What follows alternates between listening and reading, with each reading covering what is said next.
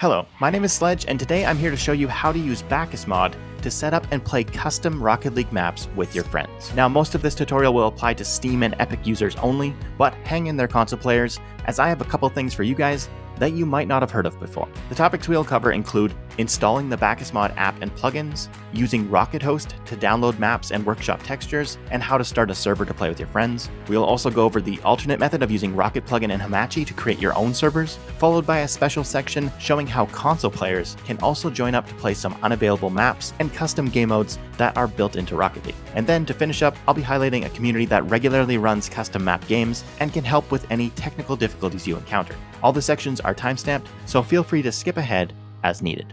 The first step is to download BakkesMod from the official site, which you can find linked in the description below. Once you have downloaded the BakkesMod setup.zip, open the file location and extract. Then run through the setup guide and the app will be installed. If this little BakkesMod injector window is open on your desktop, then you know the application is installed and running, and now we can start Rocket League.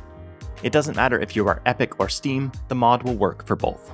Once in Rocket League, BakkesMod is opened using the F2 key on your keyboard. There's a lot of settings and features built into the app, but for this video, we're going to focus on plugins, which you can see I already have a lot of. Now, the easiest and safest way to install BakkesMod plugins is from the official site. There you can find over 200 plugins ranging from quality of life improvements to custom mods that change the game or add unique features. Today we are focusing on how to play custom maps, so we will start with the Rocket Host plugin. By clicking the blue Install with BakkesMod button on the plugin page, it will automatically be downloaded and set up to install the next time you run Rocket League. You can close the black command prompt window once it confirms the download is complete.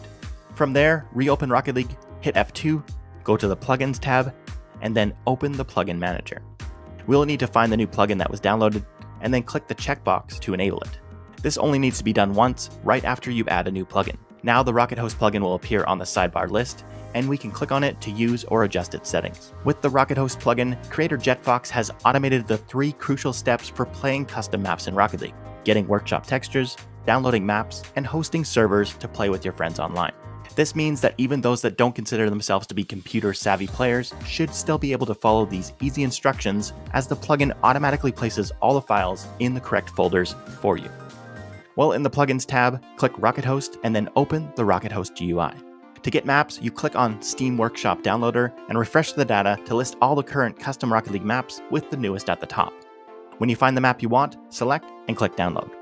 If this is your first time playing custom maps, a pop up will prompt you to download the workshop textures, but this will be a one time thing. After restarting your game, you're now ready to host a match with your friends on that map. After making sure your friends have followed all the previous directions to download Rocket Host, the textures, and the map you'll be playing, it's now time for the final step requesting a server. Note, Rocket Host is a US central server, meaning if you're not in NA, you may want to instead host the game on your own computer, which will be discussed in the next section. Before launching the server, select the game mode, number of players, and any mutators you want. Then click the Request Server button and wait a moment or two for the server to start. Once you are in game, your hypothetical friends will now be able to join you from the Rocket Host GUI by refreshing the active server list, selecting the correct map, and clicking Connect. Rocket Host currently supports over 500 workshop maps, but it doesn't have all of them. In the event that the server doesn't have a map, a red box will appear and you will instead be put in a LAN match that has been hosted on your own computer. You will still be able to play with your friends, but you won't be able to connect through Rocket Host. Instead, it will require you to follow the directions for Rocket Plugin, which we will cover Next, for those a little more experienced with custom maps, Rocket Plugin is a perfectly valid alternative. Some disadvantages to this method is that it doesn't download map files for you and will require the use of a VPN for multiplayer.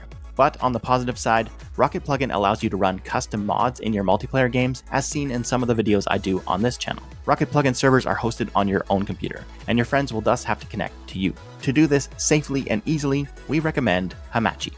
Hamachi is a free VPN that protects your IP by giving you a fake address to share instead. Setup is fairly simple. First, download the Hamachi app from vpn.net and run the installation. To use Hamachi, you'll have to create a new LogMeIn account, but you do not need to enter your actual personal info while doing this. Note, Hamachi may need to be whitelisted with your firewall for it to allow players to connect to you. If you are the host, you're going to have to create a network. While the app is running on your desktop, click Network, create a new network, and choose a name and password. Then send the info to your friends, who will also use Hamachi to join your existing network. If everything is working, you'll be able to see their computers joining in the app, as well as a green light to indicate a good connection. After installing Rocket Plugin from the BakkesMod site, the setup is very similar to using Rocket Host. Enable workshop maps, select the one you want, adjust player count and mutators, then click Host. This will start a lobby on your computer, and your friends will connect to you via Hamachi. On their end, they will right click the host name in Hamachi, copy the IPv4, and then paste it in the join box within Rocket Plugin. The port is always 47s with no password, and you don't need to check the joining custom app box. If the host's firewall settings are correct, the IP box will be green, and they will be able to join. Alright, I know by now you console players are tired of being left out. But today, I'm happy to say I at least have something to offer you guys. First, there is the out of map training packs. Linked in the description of this video is multiple training packs players have made that put your car outside the playing field and allow you to practice your aerial skills more freely and explore the scenery. A common favorite is the drop shot map, in which the structures can be used like a rings run. Now, it's not perfect, but it's better than nothing. Next up for console players is custom matches from Rocket Host that anyone can join. Now, these are not quite custom maps, but it will allow you to play some wacky game modes and cool in game maps not accessible to regular console players. The one catch being that you need at least one person on PC for this to work.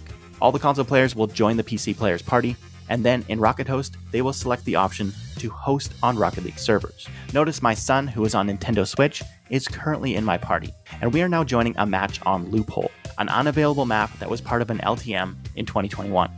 In fact, just by adjusting Rocket Host settings, we can even play Heatseeker on this map. Setting up and playing custom maps with your friends in Rocket League doesn't have to be hard or scary.